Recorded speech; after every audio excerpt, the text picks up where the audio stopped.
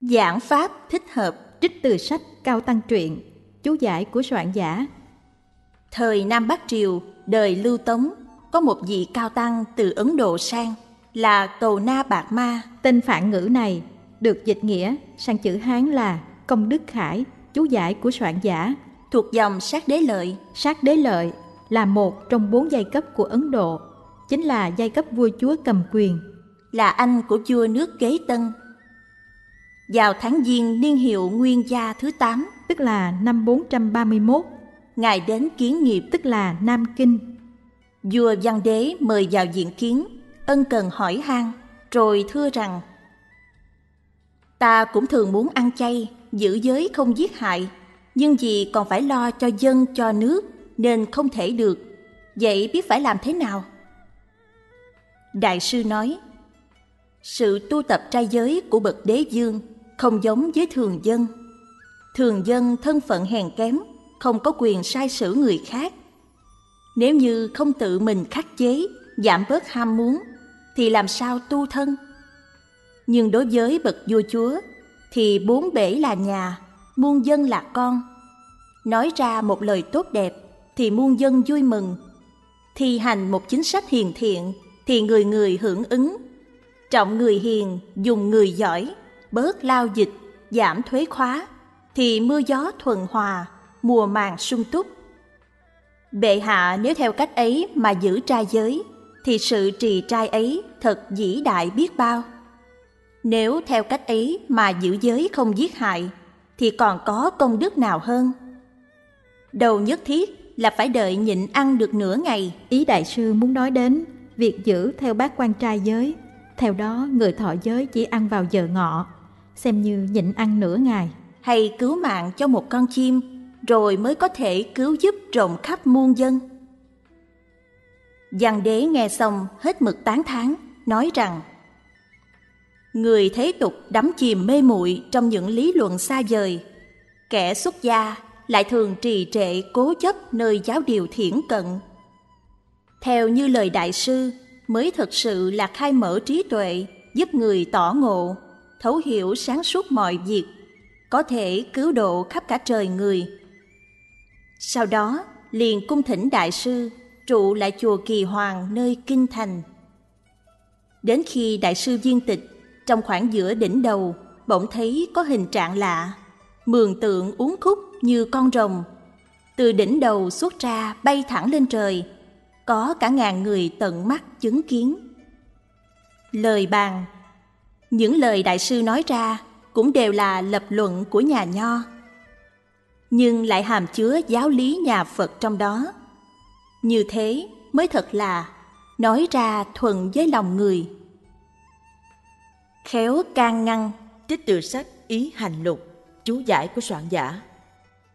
Vào triều Minh, quan thượng thư bộ hộ là Dương Hữu Hiền, là người huyện Ninh Hương, tỉnh Sơn Tây. Ông từng bỏ tiền cưới về một người thiếp. Vợ ông vì quá ghen nên đẩy người thiếp này vào hoàn cảnh rất khốn đốn. Khi Dương Hữu Hiền bận việc quan phải đi xa, bà vợ liền lén nhốt người thiếp vào một căn phòng trên lầu, đói quá sắp chết. Ông có đứa con trai tên Dương Dục Tuấn, chỉ mới mười mấy tuổi đầu. Lúc ấy biết chuyện liền nói với mẹ. Nếu gì ấy mà chết đói, người ngoài thế nào cũng chơi cười phỉ bán mẹ. Chi bằng cứ mỗi ngày cho ăn một bát cháo nhỏ để dì ấy từ từ mà chết. Người ta sẽ không nói là mẹ ác độc. Bà mẹ nghe theo lời. Dương Dục Tuấn lại lén dùng một cái đẩy nhỏ giấu thức ăn vào. Nhưng lúc mang cháo đến thì đưa cho người thiếp của cha. Nhờ đó mà cô ta được sống. Qua năm sau, sinh được một đứa con trai. Dương Hữu Hiền lén đưa đến nơi khác nuôi dưỡng. Sau khi ông qua đời, Dục Tuấn hết sức thương yêu chăm sóc đứa em trai này. Lời bàn Khi sử dụng lời nói để giao tiếp với người khác, tất nhiên phải chọn lời nói sao cho thuận theo lòng người. Khi sử dụng lời nói để phụng sự cha mẹ, cũng không được làm trái ý cha mẹ. Tuy nhiên, khổng tử thường nói, thờ cha mẹ, nếu cha mẹ có điều không tốt, cũng phải khéo léo can ngăn. Khéo léo can ngăn có nghĩa là phải làm sao để cha mẹ vui vẻ nghe theo lời khuyên mà cũng không trái ý cha mẹ. Xét như việc Dương Dục Tuấn khéo léo khuyên can mẹ, chẳng phải là hợp với lời của khổng tử lắm sao? Kính ngưỡng bậc thánh hiền tiên triết, đi đứng nằm ngồi thường nghĩ nhớ. Giảng rộng Nói tiên triết là chỉ chung các bậc thánh hiền trong quá khứ, được nghe lời dạy của thánh hiền thì sinh lòng ngưỡng mộ, ác tự thân phải ra sức làm theo. Giống như vẫn còn được thấy các ngài hiện diện trước mình. Nói, đi đứng nằm ngồi thường nghĩ nhớ. Nguyên tác dùng hai chữ canh tường, nghĩa là bát canh, vách tường. Lấy ý theo trong sách Hậu Hán Thư, có nói đến chuyện sau khi vua Nghiêu mất rồi, vua Thuấn thường nhớ nghĩ đến. Mỗi khi ngồi xuống, nhìn thấy hình bóng vua Nghiêu trên vách tường. Mỗi khi ăn cơm, như nhìn thấy hình bóng vua Nghiêu trong bát canh. Vì thế, canh tường, hàm ý luôn luôn nhớ nghĩ đến, dù trong lúc đi đứng, nằm ngồi cũng đều tưởng nhớ. Có nghĩa là bất kỳ lúc nào cũng nhìn thấy các bậc thánh hiền như đang hiện diện trước mặt mình. Nhưng không nên quá câu nệ nơi nghĩa đen của từ ngữ, mà nên hiểu là lúc nào cũng suy xét nhớ nghĩ lời dạy của các ngài để làm theo. Đạo lý của các bậc thánh hiền xưa nay tùy theo địa phương truyền bá mà có sự linh hoạt tự nhiên nhưng không xa lìa cội gốc. Nếu như quá cố chấp vào hình thức mà trong tâm vẫn tồn tại dù chỉ một chút các ý niệm, ý tất cố ngã. Một số nhà nho cho rằng khổng tử chủ trương vô ý, chỉ ý nghĩ, vô tất, sự thiên lệch, vô cố, sự cố chấp và vô ngã, bám chấp vào bản ngã. Ở đây tiên sinh an sĩ có vẻ như đã sử dụng các khái niệm này của nho gia theo cách hiểu của giáo lý nhà Phật. Trong lòng ác sẽ không khác gì, Diệp Công thích rồng, nhưng chỉ biết đến tranh vẽ rồng, chứ không biết có con rồng thật. Năm xưa, tôi có lần gặp một người cầm trong tay quyển sách Trung Dung. Liền cùng ông ta bàn luận về nghĩa lý đại thể của hai chữ Trung Dung. Tôi bảo ông ấy, Trung Dung không có hình tướng, nếu cố chấp vào hình thức mà cho rằng chỉ có 33 chương trong sách này mới đúng thật là Trung Dung, thì đối với đạo lớn của Khổng Nhan, dù có nằm mơ cũng không thấy được, huống chi là thực hiểu. Ông ấy lập tức nổi giận, nói Ý nghĩa ông nói, đó là thiền học, chẳng phải đạo nho của ta. Nói xong, bèn ném ngược quyển Trung Dung lên bàn sách. Tôi nói, ông thành kẻ tiểu nhân rồi. Ông ta hỏi gì sao? Tôi nói, Khổng tử từng nói rằng, quân tử trung dung, tiểu nhân ngược với trung dung.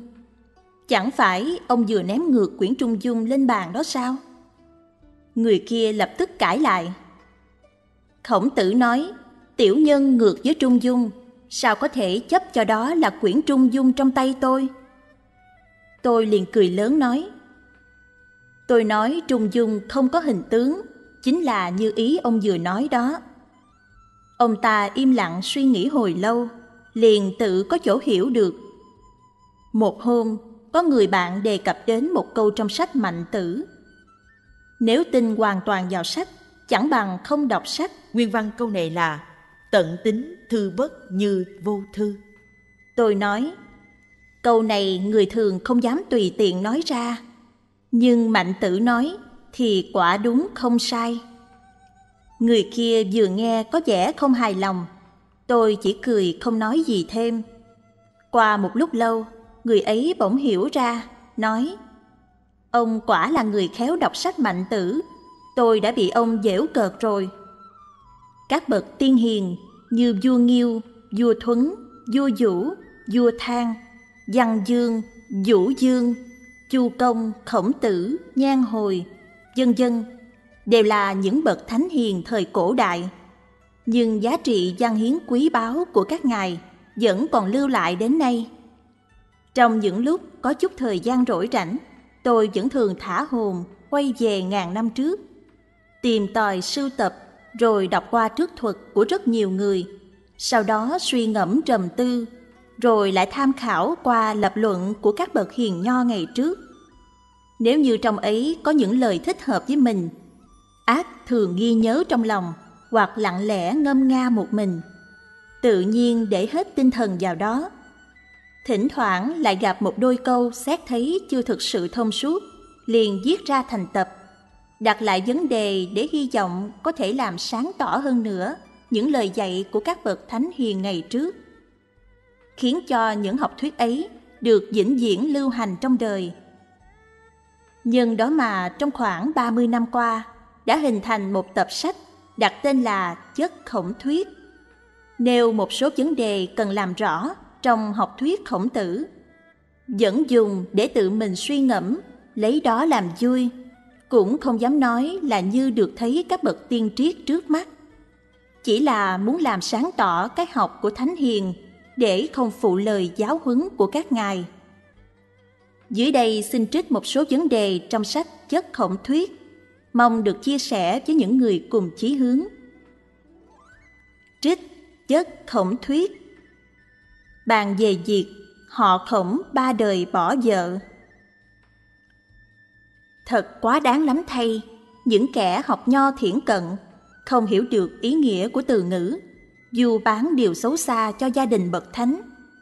Đức Khổng Tử lấy lễ pháp giáo hóa người đời, trước vẫn xem việc dạy dỗ vợ con trong nhà là căn bản.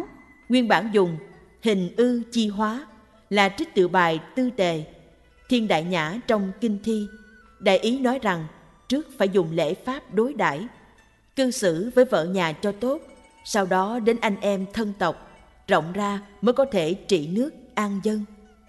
Đức độ chưa hẳn đã kém văn dương xưa kia.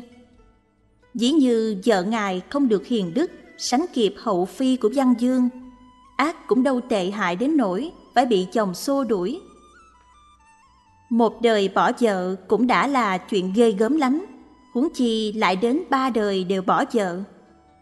Xét như đạo vợ chồng, theo đạo lý nhà nho là chuyện hệ trọng nếu phạm lỗi nhỏ mà bị chồng xô đuổi, ác gia pháp họ khổng chẳng thể bỏ qua mà không trách phạt. Bằng như phạm lỗi quá lớn, đến nỗi phải bị trục xuất ra khỏi gia đình, ác phải là điều bất hạnh cho họ khổng biết bao. Huống chi Đức Khổng Tử là bậc thầy mẫu mực của muôn đời. Nếu như vợ ngài lại đức hạnh kém cỏi đến nỗi bị trục xuất, ác phải tổn thương rất lớn đến thanh danh gia đình. Thế rồi đến người con dâu của bà cũng bị trục xuất, cho đến cháu dâu lại cũng bị trục xuất. Như thế thì họ khổng có còn ra thể thống gì nữa. Một hôm, tôi mang sách lễ ký, thiên đàng cung ra, đọc thật kỹ và suy ngẫm. Đến câu, không phải vợ chính của ông cấp. Khổng cấp là tên thật của tử tư cháu nội Đức Khổng Tử. Ác không phải mẹ của ông Bạch. Nguyên văn câu này là bất vi cấp giả thê giả, thị bất vi bạch giả mẫu. Bỗng kinh ngạc hiểu ra, nghĩ rằng đã không phải vợ chính, tất nhiên là vợ kế.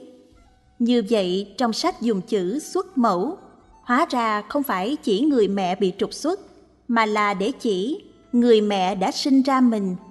Cũng giống như nói sinh mẫu như vậy tức là để chỉ người mẹ ruột. Nói không để tan xuất mẫu là ý nói không chịu tan mẹ ruột ba năm. Ấy gì tử tư là con dòng thứ, bá ngư bá ngư là con trai khổng tử, tức là cha của tử tư. Từng bảo tử tư để tang mẹ ruột của mình ba năm. Tử tư không tiện nói với cha, như vậy là sai lễ. Liền nói, từ xưa, tổ tiên gia tộc chúng ta chưa từng sai với lễ tắc quy định. Nếu có quy định chịu đại tang, ác phải làm theo. Tử tư nói như vậy là ý muốn nhắc cha mình rằng theo lễ nghi không có quy định chịu đại tang đối với người mẹ là vợ thứ, không phải chánh thất. Từ đó về sau, lễ nghi trong gia đình họ khổng quy định những người con dòng thứ không để tang ba năm cho mẹ ruột của mình sao thành tục lệ vĩnh viễn như thế cho nên trong sách lễ ký chép rằng họ khổng có quy định con dòng thứ không để tang mẹ ruột là bắt đầu từ ông tử tư. Thật rõ ràng, sáng tỏ vô cùng. Thiên đàng cung của sách lễ ký đã dùng chữ xuất để thay cho chữ sinh. Có thể nói là rất hay lạ, trang nhã mà không rơi vào khuôn sáo. Các nhà nho đời sau tự mình không hiểu được ý nghĩa của từ ngữ, sao lại khiến cho bậc phu nhân muôn đời kính ngưỡng phải chịu tiếng xấu ác. Xét như các quan đại phu ngày nay thôi, nếu như vợ họ chưa từng bị trục xuất, xô đuổi mà bị người ta đồn đãi rằng bị trục xuất, hẳn phải lấy đó làm mối hận muôn đời. Người quân tử có lòng nhân đức, nếu nghe biết việc như thế, ắt phải thay người mà minh oan, làm rõ sự việc để giải tỏa mối hận ấy. Huống chi việc này lại xảy ra với vị phu nhân của một bậc đại thánh nhân, khiến cho đến ba đời con dâu trong nhà đều phải ôm mối hận ngàn đời như vậy. Cho nên, việc này cần phải được cải chính, giải thích cho mọi người đều rõ, làm sáng tỏ chỗ sai lầm từ trước đến nay. Lời bàn Người xưa bỏ vợ, phần lớn trường hợp chỉ vì những lỗi lầm nhỏ không phải lúc nào cũng là do đánh mất đạo đức lễ nghĩa. Như xem trong sách Khổng tử gia ngữ, thấy tăng tử bỏ vợ chỉ vì chân quả lê không chín. Lại xem trong sách Mạnh tử ngoại thư, thấy chép việc mạnh tử định bỏ vợ chỉ vì nhìn thấy bà ngồi soạt chân khó coi. Ông đem việc này thưa với mẹ, bà mẹ trách mạnh tử thất lễ. Mạnh tử nghe lời mẹ, liền tự trách, thôi không bỏ vợ. Xem qua đó thì có thể biết, bài văn này là vì những kẻ hậu nho thiển cận hiểu sai mà phương tiện nói ra. Vì mối oan chưa được rửa sạch của ba đời phu nhân nhà họ khổng mà nói ra. Cho nên chỗ dụng tâm thật hết sức tốt đẹp, khó nhọc. Chỉ có điều là, người đọc cần phải thận trọng, đừng để cố chấp nơi từ ngữ mà hiểu sai ý tứ. Lại ngộ nhận rằng, ba đời họ khổng đã khai sinh ra thói xấu cưới thêm vợ lẽ. Đó là điều nhất thiết phải phân biệt cho rõ. Bàn về quan niệm, ngoài đạo trung thứ, không có lẽ suốt thông. Nguyên văn là trung thứ chi ngoại vô nhất quán. Đức Khổng Tử nói rằng đạo của ta chỉ một điều suốt thông tất cả đó chính là đạo lý căn bản một đời của khổng tử cũng là chỗ đạo lý căn bản, được truyền lại qua bao đời thánh hiền, kể từ vua nghiêu, vua thuấn, văn dương, vũ dương, chu công, nhan hồi. Từ chỗ, học rộng khắp văn chương, tóm gọn theo lễ nghĩa, mà sao mới hiểu ra được lời dạy, một điều suốt thông của thầy. Cho nên mới bùi ngùi mà cảm thán, theo sách luận ngữ thì mạnh tử đã nói về đạo của thầy mình, tức khổng tử, là ngưỡng chi di cao, toàn chi di kiên, chim chi tại tiền, hốt yên tại hậu nghĩa là ngẩng trong càng thấy cao, thử thách càng thấy cứng, thoạt thấy phía trước, bỗng hiện phía sau ngoài nhan hồi ra, những người được truyền thụ chỗ thấu suốt này, bất quá chỉ có được tăng tử với tử cống mà thôi. Nguyên lý một điều suốt thông của khổng tử, hàm ý đâu đâu cũng là đạo. Vì thế mà khi Ngài đứng nơi gian sông trên thượng nguồn, đã từng cảm thán. Chảy mãi như thế này sao? Khi Ngài dạy cho môn đệ thường nói, ta chẳng có điều gì không dạy cho các ông. Thật ra, Đức Khổng Tử nói câu một điều suốt thông lại chính vì muốn chỉ rõ ngay trước mắt cho những kẻ đã bước ra đường lại không biết lối đi đã ăn món ngon, lại không biết mùi vị môn đệ thảy đều không hiểu được ý nghĩa ấy, nên mới đưa ra câu hỏi, thế là thế nào tăng tử là người đã trực nhận, lại cũng dùng phương pháp chỉ thẳng ngay trước mắt mà dạy cho những người kia rằng, đạo của thầy ta chỉ hai chữ trung thứ là gồm đủ. Nguyên văn trong luận ngữ, khổng tử nói, trò xăm này, đạo của ta chỉ một điều thông suốt tất cả. Tăng tử đáp, dạ. Khổng tử đi ra ngoài, môn nhân đều không hiểu, hỏi tăng tử, thế là thế nào? Tăng tử đáp, đạo của thầy ta chỉ hai chữ trung thứ là gồm đủ. Dĩ như có người đặt câu hỏi rằng biển giống như thế nào? Có người khác liền mang một chén nước biển đưa cho người ấy, nói rằng đây chính là nước biển. Nếu như lại cho rằng ngoài chén nước biển ấy không còn có biển lớn mênh mông, thì quả thật chỉ là người ngu si nói chuyện sằng bậy. Ngày nay có những học giả cứ mở miệng là nói ngoài đạo trung thứ không có lẽ suốt thông nào cả. Như vậy có khác gì với kẻ ngu si vừa nói trên? Bàn về câu Ung giả khả sử nam diện Ung là tên của Trọng Cung, là môn đệ của khổng tử. Mấy chữ khả sử nam diện có thể quay mặt về hướng nam. Được sách Tứ Thư Chương Cú Tập Chú giải thích là Vị thế của bậc nhân quân Dựa theo đó mà xưa nay vẫn cho rằng Vì Trọng Cung là người khoan dung độ lượng, chân thật mà cẩn trọng có được khí độ của bậc quân dương Nên Đức Khổng Tử mới nhận xét như thế Nguyên văn trong sách luận ngữ, tử viết Ung giả khả sử nam diệm Trò ung có thể làm người quay mặt về hướng nam Nhưng xét lại, tự thấy cách hiểu như vậy có chỗ chưa thỏa đáng Nhân quân là danh hiệu để xưng bậc thiên tử của chư hầu. Trọng cung tuy hiền đức, nhưng gia dế vẫn là hàng đệ tử của khổng tử. Một người luôn hết mực tôn quân như khổng tử, lẽ nào lại đặt đệ tử mình lên vị trí bậc thiên tử của chư hầu? Lại thử hỏi, nếu thế thì phải đặt thiên tử nhà Chu với vua nước lỗ là lỗ định công ở vào địa vị nào? Xét rằng từ xưa đến nay, bất kỳ ai đã được bổ làm quan chức, dù lớn hay nhỏ, đã được một thân dinh hiển, ác người nào cũng cần phải quay mặt về Nam để soi xét việc của dân. Cho nên, bất kỳ quan viên chức sắc nào dựa vào hàng cầm quyền cai trị dân thì đều có thể quay mặt về hướng Nam cả. Bàn về câu chấp tiên chi sĩ Trong sách luận ngữ có đoạn Tử viết, Phú Nhi khả cầu giả, truy chấp tiên chi sĩ, ngô diệt vi chi. Như bất khả cầu, tùng ngô sở hảo. Nghĩa là, khổng tử nói, giàu sang phú quý nếu có thể cầu mà được, dẫu là việc cầm roi đánh xe, hầu người khác ta cũng làm. Nếu như không thể cầu được, thôi hãy làm những gì ta thích. Ở đây muốn bàn về cách hiểu chữ sĩ trong câu này. Trong cách dùng ngày xưa, hai chữ sĩ và sự có thể thay thế cho nhau. Trong sách Chu Thư, Thiên Khang Cáo có câu Kiến sĩ ư chu lại có nghĩa là thấy sự việc ở nước Chu.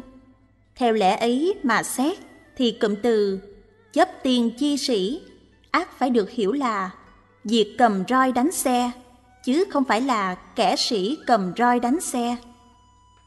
Nếu như hiểu chữ sĩ trong cụm từ đó là kẻ sĩ, tức là người quân tử, thì như Đức Khổng Tử đã có dạy rất rõ ràng. Ở ẩn tại nhà không đáng là kẻ sĩ. Nguyên văn lời Khổng Tử, sĩ nhi hoài cư bất túc vi sĩ. Ở ẩn tại nhà mình không đóng góp tài trí cho nhân quần xã hội, còn không đáng là kẻ sĩ. Huống hồ lại đi cầm roi đánh xe, hầu hạ người khác Bàn về câu Vật hữu bản mạc Sách đại học có một tiết là Vật hữu bản mạc, sự hữu chung thủy Tri sở tiên hậu, tác cận đạo hỷ Sách Tứ Thư Chương Cú Tập Chú Chú giải rằng Đoạn này nối tiếp ý của câu văn trước đó Vì thế nên xưa nay vẫn hiểu rằng Trong câu Vật hữu bản mạc, sự hữu chung thủy thì vật hữu bản mạc. Nghĩa là vật có gốc ngọn, được xem là phần đầu. Sự hữu chung thủy, nghĩa là sự việc có đầu cuối, được xem là phần sau. Cả hai tạo thành một đoạn nối tiếp theo văn trước đó. Tuy nhiên, xét thật kỹ càng thông suốt văn mạch toàn chương, thì thấy đoạn này không phải nối tiếp phần trước nó, mà thật ra là được viết để khởi đầu cho đoạn tiếp theo. Hiểu theo cách này thì chữ vật được dùng để chỉ phần nội dung trong câu tiếp theo bên dưới. Nguyên văn đoạn được bàn đến ở đây là Dục trị kỳ quốc giả, tiên tề kỳ gia, dục tề kỳ gia giả, tiên tu kỳ thân, dục tu kỳ thân giả, tiên chính kỳ tâm, dục chính kỳ tâm giả, tiên thành kỳ ý, dục thành kỳ ý giả, tiên trí kỳ tri, trí tri tại cách Phật, vật cách nhi hậu tri chí. Tri chí nhi hậu ý thành, ý thành nhi hậu tâm chính, tâm chính nhi hậu thân tu, thân tu nhi hậu gia tề, gia tề nhi hậu quốc trị, quốc trị nhi hậu thiên hạ bình. Bao gồm thân tâm ý tri gia quốc thiên hạ. Mà chữ sự tức là các việc cách trí thành chính tu tề trị bình chữ vật với chữ sự, được hiểu phối hợp theo cách này, thì tất cả ý tứ đều phù hợp, mà lại càng làm tăng thêm ý nghĩa rõ ràng mạnh mẽ hơn. Nếu lấy quốc, đất nước so với thiên hạ, thì đất nước phải là gốc, mà thiên hạ là ngọn. Lấy gia, nhà so với quốc, đất nước, thì nhà phải là gốc, mà đất nước là ngọn. Cứ thế mà xét cho đến các khái niệm, thân tâm, ý tri cũng đều tương tự như vậy.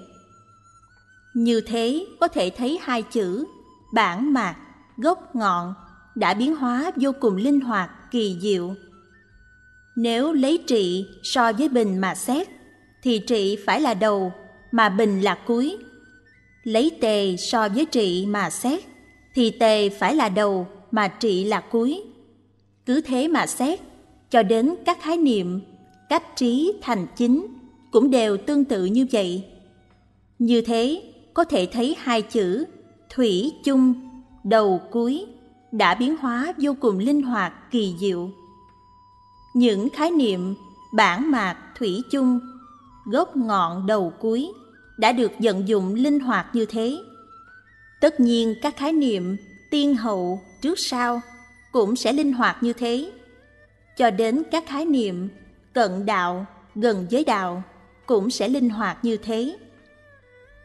Cho nên đoạn văn này thật ra sử dụng bút pháp hư ảo không tự có thật nghĩa, chỉ để dẫn khởi cho tám đề mục thực nghĩa bên dưới, tức là tám cặp đề mục thân tâm, ý tri, gia, quốc, thiên hạ và cách trí, thành, chính, tu, tề, trị, bình, được sắp xếp tương ứng với nhau vì thế mà trực tiếp trước đó là hai đoạn mở đầu với cổ chi dục minh minh đức. Và liền theo sau là hai câu, trì sở tiên hậu tác cận đạo hỷ. Nếu như cho rằng vật hữu bản mạc với sự hữu chung thủy là hai phần của một đoạn văn nối tiếp ý văn trước đó, thì sự phối hợp ý nghĩa xét ra rất nhiều chỗ khiên cưỡng xét như đoạn văn trước đó, mở đầu bằng, trì chỉ nhi hậu hữu định. Thật ra, đã là nối tiếp câu trước đó nữa, với ý cuối câu là, chỉ ư chí thiện cho nên, vật hữu bản mạc. Đương nhiên, không thể có sự nối tiếp tương ứng với đoạn trước nó. Huống chi hai đoạn, vật hữu bản mạc, sự hữu chung thủy lại rõ ràng có ý đề khởi mạnh mẽ, chứ không phải ý nối tiếp. Như hiểu ngược lại theo ý tứ của đoạn văn trên, thì tâm định làm sao có thể gọi là sự? Chỗ được an ổn cũng làm sao có thể gọi là sự? Hiểu như thế, thì một chữ sự tự nó đã không có nghĩa thỏa đáng. Tất nhiên, hai chữ tiên hậu theo sau cũng không thỏa đáng, mà đến tác cận đạo hỷ lại càng không thỏa đáng cách hiểu sai lệch này tuy không liên quan đến tông chỉ lớn lao, nhưng nếu như có thể ít nhiều làm sáng tỏ hơn kinh sách của thánh hiền thì cũng nên nói rõ ra để mọi người đều biết.